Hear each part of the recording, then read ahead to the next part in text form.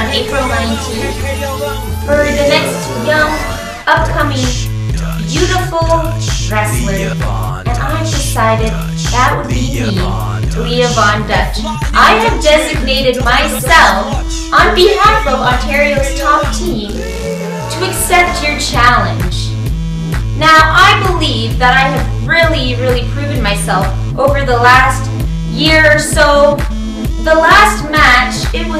Von Dutch who scored the pinfall, who got the victory for Ontario's top team.